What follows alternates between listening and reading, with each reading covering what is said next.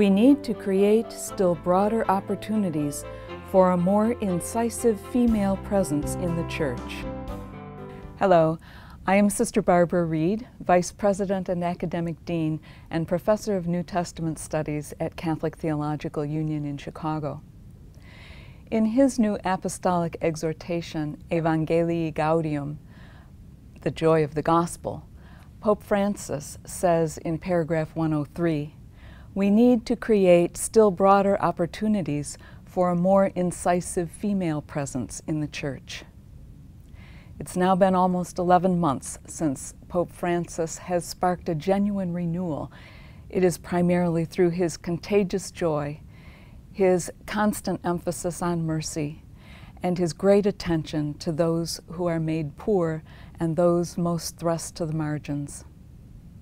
For example, for his birthday in December, he invited four homeless people to come and celebrate Mass with him in his home.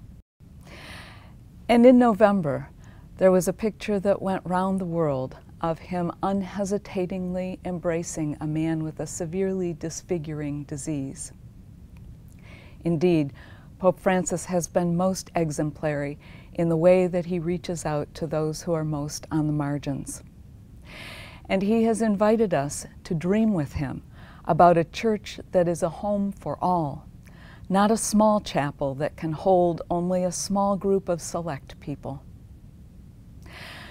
It is most heartening, then, that Pope Francis has recognized that there are ways that women have been kept at the margins in some arenas in the church, and that he says we need to create still broader opportunities for a more incisive female presence in the church.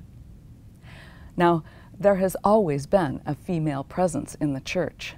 Since the very beginning of Christianity, women like Mary Magdalene, Joanna, and Susanna, and many other Galilean women accompanied Jesus as disciples throughout his mission.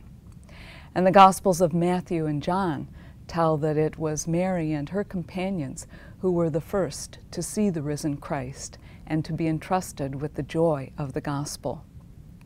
And in Paul's letters and in the Acts of the Apostles, we hear of Phoebe, who was deacon and leader of the church at Cenchreae, and of Prisca, who was teacher, evangelizer, and head of a house church, and of Junia, who was notable among the apostles.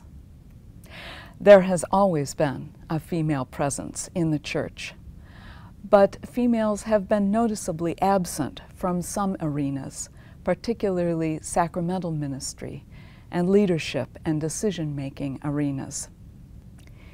In Evangelii Gaudium, Pope Francis says that the presence of women must be guaranteed in the various settings where important decisions are made, both in the church and in social structures.